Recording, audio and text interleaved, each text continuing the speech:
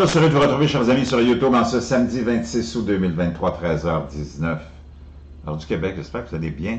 Malgré tout, merci à ceux qui sont abonnés, ceux qui ne sont pas peut-être là maintenant. Merci à ceux qui m'envoient des liens et des messages. C'est vraiment très apprécié. L'histoire que je vais vous raconter, si ce n'était pas officiel, vous auriez raison de me traiter de capoté, de conspirationniste, de fou, mais le problème, c'est que dans l'hémisphère nord, la folie n'a plus de limite. Moi, je mets une chose au clair tout de suite. Les mouvements gays, lesbiennes, LGBTQ+, j'ai rien contre ça. J'ai rien contre le fait que quelqu'un soit attiré, un homme attiré par un homme ou une femme attirée par une femme. Tout ça, c'est des questions personnelles qui relèvent de l'individu dont personne n'aurait à se mêler, mais il faut que ça reste dans la normalité, puis il faut que ça reste dans la chambre à coucher. Je veux dire, l'homosexualité, le lesbianisme et même euh, le nouveau mouvement euh, queer et transgenre, ce n'est que sexuel. Nous, les humains, une complexité différente de celle des animaux, et c'est ce qui nous amène, quand la tête n'est pas équilibrée, quand la tête n'est pas en ordre, quand la tête n'a pas une fondation hein, de principes, de croyances, appelle ça comme tu veux, ça spinne dans tous les côtés, puis c'est pas facile à contrôler. On le sait, on est tous passés par là dans différentes périodes de notre vie. La sexualité, c'est un aspect de la vie, mais c'est pas toute la vie. Tu comprends? Donc, quand tu, tu deviens ou quand tu es tu décides de baiser avec un homme si un homme, ben c'est un choix que tu fais. Puis, il n'y a personne qui doit se mêler de ça. Comme une femme, pour différentes raisons, que l'homme et la femme soient euh, gays ou, lesbiennes, qu'est-ce qui les a amenés là? C'est pas vraiment important, mais c'est que tu as fait un choix, tu dis, moi, je vais être avec des hommes, ou je vais être avec des femmes, ou tu en as d'autres qui ont du fétichisme et des fantasmes et qui veulent s'habiller euh, comme une femme. Ben, c'est pas nouveau. D'ailleurs, quand on est petit garçon, des fois, on expérimente ça, on essaie les vêtements de nos parents, de, de nos mères en cachette et tout, parce qu'on est curieux, parce que tu peux en faire une carrière de spectacle comme drag queen aussi. Donc, tout ça, c'est bien correct. Le problème, c'est quand tu mets toute ton énergie, puis l'enfance de ça, parce que toi, tu as découvert que l'homosexualité, par exemple, ça t'avait rendu tellement heureux, épanoui, que là, tu veux répandre la bonne nouvelle. Tu comprends? Et là, ça devient ton univers, le centre de ton univers.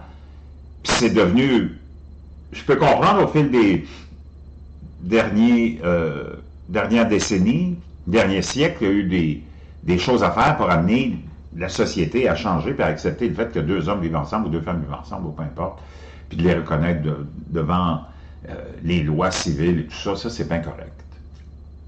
Mais une fois que tout ça est fait, il faut continuer, il faut que les gens vivent leur vie normalement. Tu es gay, tu vis ta vie de gay, ton sexe, tu l'as dans ta chambre ou dans le parc, n'importe où, comme tout le monde, comme les hétérosexuels, mais c'est tes affaires. Ça n'a pas besoin d'être exposé dans des parades de prétendument fierté gay. D'ailleurs, s'il y a une fierté gay, il doit y avoir une fierté hétérosexuelle aussi, mais dans notre hémisphère nord, on a comme un nouvel agenda depuis quelques décennies, mais surtout une dizaine d'années, c'est démoniser la masculinité, démoniser même la femme. Maintenant, on est rendu à démoniser la femme, hein. on, on attaque la femme, puis on ne gêne pas avec les mouvements surtout transgenres, puis je vais y revenir on attaque l'hétérosexualité aussi, on en fait comme un modèle, je sais pas, dépassé, mais c'est parce que 90 ou non, même 98% de la population est hétérosexuelle dans le monde. Puis ça te prend deux hétérosexuels pour avoir un gay ou une lesbienne. C'est à la base de... Puis on n'en fait pas un cas, nous autres, on fait nos affaires. Mais je peux comprendre tous les combats qui ont eu lieu, mais là, ils n'ont plus vraiment besoin d'avoir lieu. En tout cas, pas dans l'hémisphère nord. Je vois pas de persécution de gays, lesbiennes ou drag queen ou queer, c'est toutes toutes des super vedettes, c'est toutes des super vedettes sur TikTok, c'est toutes des super vedettes à la télé, c'est eux autres qui contrôlent beaucoup de l'économie, beaucoup de, du monde artistique, du monde médiatique, puis c'est bien correct. Moi, je n'ai rien contre ça. Je vais toujours défendre la communauté LGBTQ+, les membres. Moi, j'en connais plein. C'est du monde ordinaire, bien, bien gentil. Puis les autres, ils veulent juste vivre leur vie tranquille. Mais tu as des activistes, puis la plupart du temps, on voit qui sont ces activistes-là. C'est les grandes entreprises qui poussent l'agenda jusqu'à la limite et qui vient provoquer la population pour la diviser, c'est repris par les médias après. Parce que plus tu vas trouver de, propos pour diviser la population, mieux ça va être pour l'élite. Donc, dans l'hémisphère nord, on a comme un dérangement sociétal très grand que personne dont personne ne veut parler. Puis c'est celui-là. C'est celui de la destruction systématiquement de notre civilisation par son fondement, par sa base. En démonisant l'hétérosexualité, maintenant en attaquant la femme. Parce que quand tu... Puis tu remarqueras, dans l'hémisphère sud, là, va-t'en dans les pays d'Afrique, va-t'en dans les pays du Moyen-Orient, va-t'en dans les pays asiatiques, va-t'en... Cet agenda-là, il n'est pas là, puis ces questions-là ne sont pas là. Le monde continue à tourner en rond là-bas. Pendant que nous autres, on tourne en carré. Puis on se pogne d'un coin. Comprends? Les autres, ils n'ont pas ces préoccupations. Ça, nous autres, pendant qu'on est toutes obsédés, toutes absorbées par ces ballons qui sont lancés sans cesse, on oublie l'essentiel. Notre population d'hémisphère nord a été endoctrinée depuis des, des années des années par le programme scolaire. D'abord, c'est pour, ça que ça s'appelle un programme scolaire, parce que c'est là pour programmer. Et c'est là qu'on a commencé à introduire, depuis une couple de décennies, tout cet agenda-là, puis à venir perturber l'adolescent, perturber les enfants, même en plus bas âge, avec des programmes qui ne devraient pas être dans les écoles parce que c'est des questions qui relèvent de l'autorité dans une société équilibrée des parents. La sexualité ne devrait pas être abordée par des étrangers dans des écoles ou quelque autre institution. Ça relève de l'autorité des parents, ça a toujours relevé de l'autorité des parents. D'ailleurs, au Canada, il y a de plus en plus de gens qui descendent dans la rue mais des musulmans, puis je lève mon chapeau à ces gens-là, ceux qu'on a pensé, puis qu'on a démonisé, puis qu'on a essayé de démoniser, encore là, toujours des ballons qui sont lancés dans l'hémisphère nord, face à la communauté musulmane en nous faisant peur, oh mon Dieu, ils vont nous instaurer la charia. As-tu vu la charia quelque part, toi, là, instaurée quelque part? Dans ce monde démoniaque dans lequel on est. C'est l'agenda LGBTQ, plus, plus, plus, qu'on t'as fait ingurgité puis à tes enfants dans les programmes scolaires. Les musulmans ne sont pas un danger. Ils sont peut-être même la planche de salut, parce que nous autres, on est devenus tellement tolérants, on accepte tellement tout, qu'on était capable de dire non, puis on est dans l'univers politiquement correct, aseptisé au maximum. Tu n'es plus capable de dire quoi que ce soit, les gens sont comme tellement sensibles. Mon Dieu, ça s'offusque à un rien. C'est assez bizarre de ce, qui s'est passé avec l'homo sapiens de l'eau, de, l'hémisphère nord. Il est devenu vraiment, vraiment quelque chose d'étrange. Donc, les musulmans sont descendus dans les rues il y a quelques semaines. Vous avais partagé des vidéos de ça, puis ils ont crié à Justin Trudeau Leave our kids alone, my friend. Là, laisse nos enfants. C'est pas le rôle du gouvernement, puis de l'institution publique, scolaire ou privée d'endoctriner, puis de parler de sexe à mes enfants, puis d'orientation sexuelle, puis de genre. Voyons. On ne peut pas accepter ça, mais on l'a fait, donc, eux autres, hein, ils ont pris tous les pouvoirs, les institutions, puis ils font ce qu'ils veulent. Ben, ça, c'est une chose. Donc, encore là, des hommes blancs qui n'ont rien à faire dans la vie pour être intéressants, se sont trouvés une plateforme, différentes plateformes, que ce soit Instagram, TikTok ou whatever. Puis là, ils viennent, depuis quelques temps, encore là, c'est tous des agitateurs, là. Parce que même moi, mes amis de la communauté LGBTQ, là, on était cœurés, tout ça, là, on, peut-tu vivre notre vie en paix, là? Ils sont pas associés à ça, ils ne veulent pas être associés ni de près ni de loin à cette folie. Si ça fait triper de t'habiller en femme, de te faire baiser, habiller en femme, c'est tes affaires. Puis j'ai rien contre ça. Tu peux pas, parce que toi, t'es un petit homme blanc d'outre-monde qui n'a plus rien à faire dans la vie, puis qui veut se rendre intéressant, te mettre un peu de rouge à lèvres, puis du make-up, puis du mascara, puis dire « Oh mon Dieu, j'ai mal au ventre. Oh, je pense que je suis une femme. Non, c'est parce que t'es pas une femme, puis tu seras jamais une femme. Tu peux t'habiller en femme, il y a même du monde qui s'habille en cowboy. Chapeau de cowboy, veste de cowboy, bottes de cowboy, puis qui se promène dans le centre-ville de Paris puis de Montréal. C'est bien correct, moi j'ai rien contre ça. OK?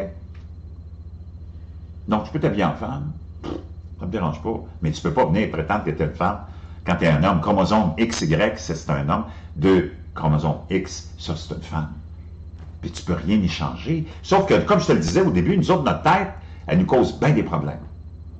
C'est pas ordonné, c'est pas contrôlé par des barricades, par un système ben, de foi, de pensée, n'importe lequel, tu vas capoter, mon chum. Moi, j'ai capoté, je me suis retrouvé dans des situations, j'ai capoté dans la vie, puis toi aussi, sûrement, tu l'as vécu, ça. Donc, il y a des limites. Puis on n'est plus capable de trouver des limites. Puis on n'est plus capable d'en mettre, puis on n'est plus capable de les imposer en tant que citoyen face à tous ces gens-là, surtout l'élite qui veut nous imposer cette démolition systématique. Donc, l'histoire dont je voulais te parler, parce que là, on parle, on va pas s'allonger trop sur le sujet, là, mais un homme qui se met du rouge à lèvres, c'est pas une femme, OK, là? Ça sera jamais une femme, puis c'est pas c'est quoi être une femme.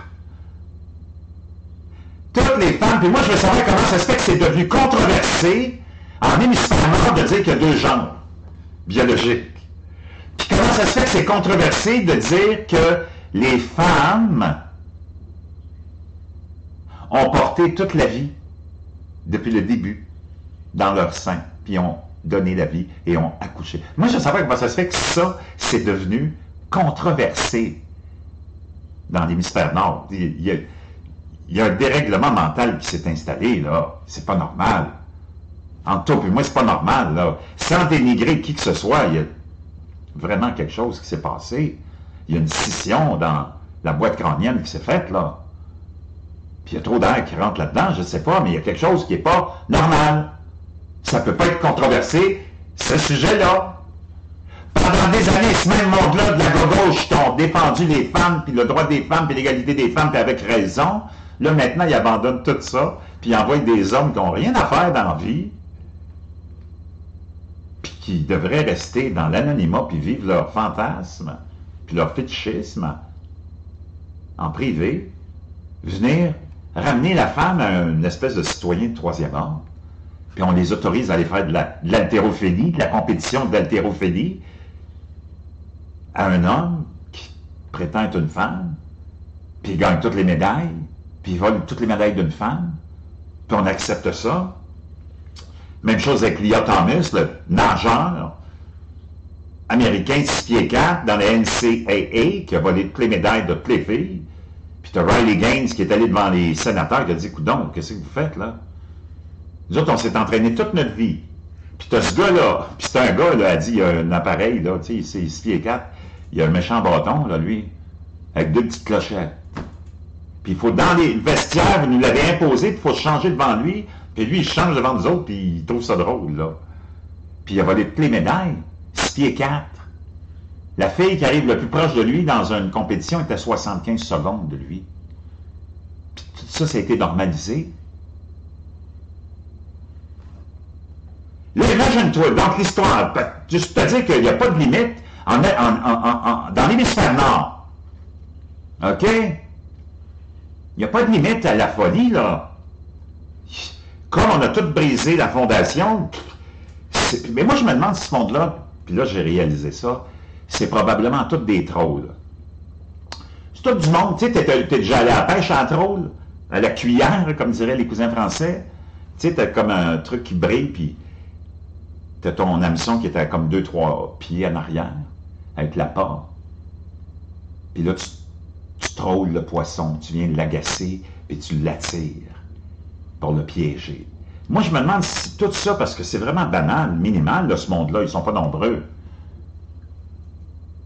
Les transgenres, là, les, hommes qui, prétendent être une femme puis qui se mettent un peu de make-up, ils sont pas nombreux, là. Puis t'as un article, avant que je passe à la bombe que je veux te partager, qui est paru dans le USA Today il y a quelques semaines par rapport à Lia Thomas, justement, d'une journaliste Nancy Porter, je pense qu'elle s'appelle, puis elle a démonisé un gars de CNN qui disait ça n'a pas d'allure, là, on peut pas laisser faire ça. C'est des femmes qui sont entraînées toute leur vie, puis elles se font voler leur médaille par un gars. Faites une catégorie transgenre, puis ça va régler tous les problèmes, là. Tu la catégorie homme, femme, puis transgenre. Ça n'a pas de sens. C'est une injustice incroyable, puis il n'y a personne qui dit rien. Dans l'hémisphère, non. T'essaieras ça dans l'hémisphère. Donc, la journaliste du USA Today, une journaliste sportive, a dit « Oh là, vous autres, là, vous êtes des bigots, des transphobes, des homophobes. » Parce qu'on... y a le gars de, de, de, de, ESPN, dont j'ai oublié, le nom, puis les femmes qui commencent à s'élever contre ça, elles disent « Ouais, non, ça n'a pas d'allure. » Elle, elle les traite de bigots. Elle dit « Vous êtes des bigots, des transphobes, des homophobes. » Elle dit « Puis en plus... » Quand j'ai vu ça, je tombé par terre, dit Qu'est-ce que ça peut bien faire si ça va chez le gynécologue? Moi, je dis quoi? Le gynécologue Qu'est-ce qu'il va aller faire chez le gynécologue, le gars? Il y a une guerre de 6 pouces avec une paire de couilles. Imagine-toi le gynécologue de la scène. Imagine la scène, là, t'as vieux gynécologue, t'as une semaine de la retraite, et dis Oui, madame, t'es en train de faire ses enfants, il a ses lunettes, il est presque aveugle. Fait 40 ans qu'il analyse des minounes, puis oui, c'est pour votre pap c'est pas de problème. Allez-vous-en dans la petite salle ici, mettez la petite jaquette blanche, puis j'arrive. Donc là, il arrive, il dit, oui, euh, vous allez mettre vos jambes dans l'étrier. Sécurité, sécurité! Puis le vieux fait une crise cardiaque. Elle a dit, qu'est-ce que ça peut bien vous faire si votre gynécologue, une journaliste sportive du USA Today? Euh, c'est parce que il peut pas aller chez le gynécologue. Qu'est-ce qu'il va aller faire là? Le monde est devenu cinglé dans l'hémisphère nord, cinglé. Comme je t'ai dit, moi, je vais toujours défendre la communauté LGBTQ++, les membres. Mais les activistes qui s'occupent de ces... qui parlent au nom, puis même mes amis disent non, on ne veut pas qu'ils parlent en notre nom. Là. Nous autres, on veut faire notre vie tranquille. On ne veut pas être associé à cette folie-là. Puis c'est pour ça que je te dis que c'est sûrement des trolls pour nous faire parler de ça, pour nous faire oublier qu'on est tous dans le même bateau, qu'on se fait tout avoir par l'élite, qui nous volent notre argent, qui volent les ressources naturelles, qui nous amènent dans des conflits continuels, le complexe militaro-industriel gouverne le monde. Puis ils veulent qu'on oublie ça parce qu'on devrait tous être unis, nous autres. Mais ils nous, regarde de quoi ils nous font parler, mais on n'a pas le choix. Je ne peux pas laisser passer ça sous silence parce que là, imagine-toi, l'Association médicale américaine, là, tu es rendu dans. Là, c'est du monde là. Quand tu viens de perdre la science, parce que la science, on l'a perdue, tu te demandes ce qui est arrivé avec les scientifiques, là. Je comprends qu'ils sont subventionnés par des gouvernements, puis il faut qu'ils parlent au nom des gouvernements, puis ils sont subventionnés. Si tu veux savoir comment un scientifique ou une scientifique arrive à des conclusions X, Y, Z, va voir qui c'est qui qui a financé l'étude. OK? Même chose pour la médecine. Oublie jamais, comme le chantait Renault, la médecine est une putain, son macro, c'est le pharmacien. L'Association médicale américaine, ça c'était moi, j'ai dit, ça se peut pas. Je que c'était une joke, un poisson d'avril. 24 août 2023, les contribuables devraient financer 300 000 de greffe d'utérus pour aider les hommes, ben, ils appellent ça les femmes transgenres, à tomber enceintes, suggèrent les auteurs de, du journal de l'Association médicale américaine. Quoi? Greffer des utérus à qui? Comment tu vas... Même dans 500 000 ans, ça pourrait même pas être possible. Greffer un utérus, c'est pas, pas comme si tu greffes un morceau de peau. C'est tout un système biologique, la femme. Là, j'ai dit greffer un utérus, mais qu'est-ce qu'ils vont faire? Ils vont greffer sa tête. Pour ceux qui sont chauds, ils vont couvrir le, petit anneau. Ils vont le mettre sur le bras. Greffer un utérus. Ce monde-là est devenu cinglé. Là, c'est pas des médecins, ça, là, c'est des trolls. Mais non, c'est le Daily Mail qui nous rapporte ça. Des arguments ont été avancés pour réduire le coût de la chirurgie dans le journal of Ethic, le journal de l'éthique. De l'éthique. Quelle éthique là-dedans? de l'Association médicale américaine. Il soutenait que l'incapacité des femmes trans à avoir des enfants pouvait nuire à leur santé et à leur bien-être. Hey, oh, what the fuck? Are you, are you kidding me? L'association est accusée d'occuper une position militante, mais elle insiste sur le fait qu'elle n'a officiellement aucune position existante ou anticipée sur le... C'est du délire! Tu prends une greffée l'utérus où? Dans les oreilles? Dans le cou? Ils vont faire des rap avec! Donc là, on va mettre les femmes sur leur... C'est pas possible! Penses-tu que cette nouvelle-là, ça pourrait marcher, toi, en hémisphère sud, euh, en Arabie Saoudite? Penses-tu vraiment que ça ferait la une?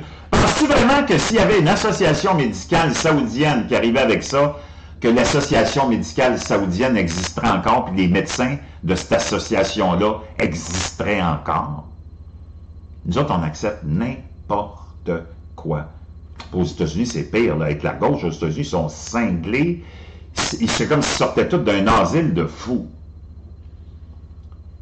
La gauche a perdu la tête complètement, là. L'American Medical Association a publié un article suggérant que les contribuables devraient subventionner les greffes d'utérus. Une greffe d'utérus d'une valeur qui pourrait atteindre 300 000 pour aider les femmes transgenres à tomber enceintes.